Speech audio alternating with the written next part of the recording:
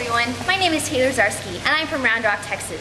I'll be your guide on this series of videos made especially to help you become a Falcon here at UTPB. Today, we're going to be talking about what you'll need to do if you want to transfer here to UTPB.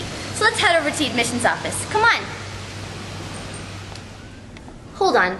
Before we go in there, we need to find out what kind of transfer student you are. There are two different kinds, and each require different information. If you have more than 24 hours of college credit, here's what you'll need. An official copy of your transcripts from every college or university you have attended. Once you have your transcripts, have them sent here to UTPB. And of course, you need to apply. You can apply online at www.applytexas.org. If you have less than 24 hours of college credit, here's what you'll need.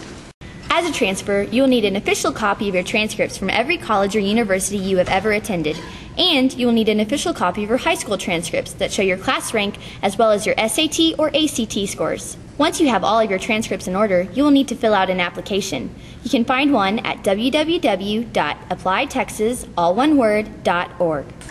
Once your paperwork is done, the staff here will evaluate all of your coursework and make sure everything is okay, as well as letting you know if you qualify for any scholarships. For more information, please visit our website at www.utpb.edu. Just mouse over Future Student and click on the Admissions tab.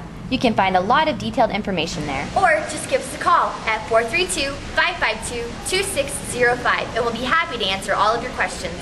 Well, that's all I have for today. Join me next time as we take a look at the Financial Aid Office where we'll talk about all of the wonderful scholarship opportunities we have here at UTPB for transfer students. Thanks, see you next time.